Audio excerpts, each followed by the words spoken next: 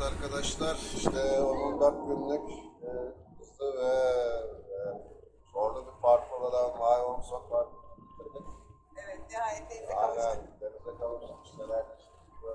Aa, deniz dedik zaten görünce. Özlemiş. 14 gün boyunca ta, Kuzey Tayland'ın adım atmadığımız bir yeri kalmadı. Dağ dağ, kasaba kasaba, nehir nehir yani daha güzelse karış karış her yerini gezdik. Aynen.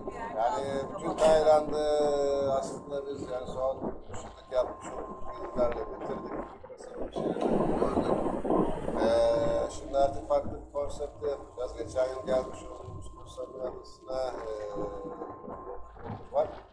Geçen yıl arkadaşlar dedik biz de yalnızız. Bu sene biraz daha relax yapacağız çünkü yorulduk. Yani ben bu kadar yoksa yorucu oluyor.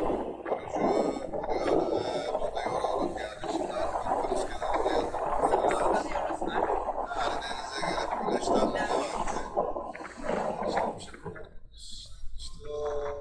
İşte sene artık e, yani diğer bu sene sonlandırıyoruz. Üniversite için? Tabii ki yeni motor oyunumuzda olacak. Ve yani bu yıl ilk defa deneyimini yaşadığımız kamp burayı da e, arka kenarına kaldık. yani yeni maceralar bizi bekliyor gibi.